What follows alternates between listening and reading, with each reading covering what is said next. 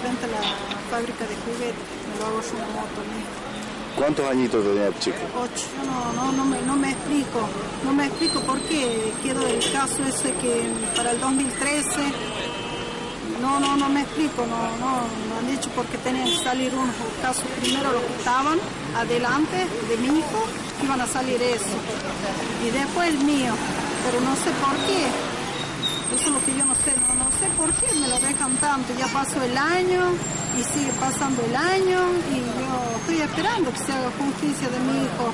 ¿Está previsto para cuándo el juicio recién y el Para hecho cuándo? 2013. ¿Y cuándo ocurrió el hecho? Y fue el año pasado, el primero de mayo, Estamos hablando del 2011. claro. Y ya ahora mire, me, me- me están diciendo ya que para el 2013, ¿Y se, eh, podría ser también para el 2014? para el 2014 me dijo, sí. Pero ya es muy mucho, ya, es muy mucho eso ya.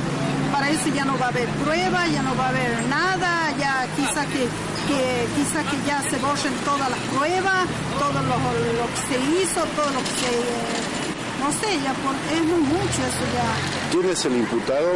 Eh, Roberto Maidana. ¿Él está detenido? No, él anda suelto.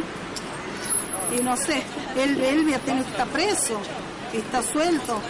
Mi hijo ya ha hecho un año ya. ¿Cuántos añitos tenía Jairo? Ocho. Ocho añitos tenía mi hijo.